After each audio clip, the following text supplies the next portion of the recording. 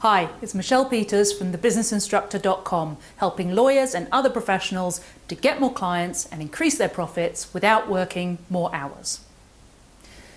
Do you ever find yourself overworked and rushing around without really having the time to plan for the future growth of your practice or business? Well, in this video, I want to show you how to use a technique called the power of pause to help you avoid stress and overwhelm and instead get yourself crystal clear about where you need to put your focus to get the results you want.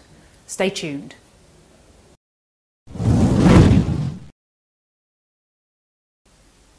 So, what is the power of pause? It's a simple technique which allows you time to pause, reflect back on what's happened, and plan out what you need to do next.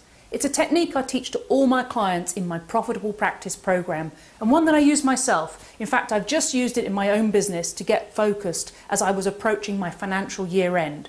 You see, I was rushing around trying to get things finalised before that all important end of year date, getting new clients enrolled in programs, ensuring projects were completed, and making sure everything was nicely wrapped up for the end of the year.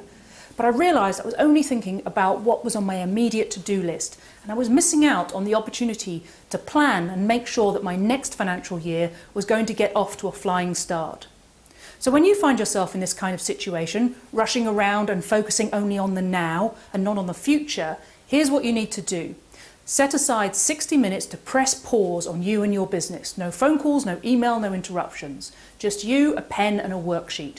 And what do you do in this 60 minute session?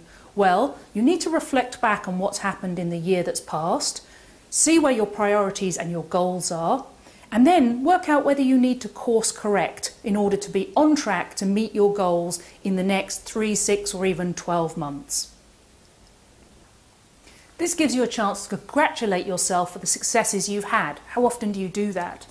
As well as to identify the areas of your business that need more focus in the coming months. You can use the power of pause any time of the year. It's great any time that you feel overwhelmed and overworked. It will help you get refocused on your priorities and help you plan out the months and the year ahead. To get the most from the power of pause sessions, I have a special worksheet called Review, Refocus and Replan. And you can use this, just as I do, to help you record exactly what you need to do next. I created this for clients in my Profitable Practice program, but if you'd like a copy, please click the link or button below this video. I'll send it to you straight away.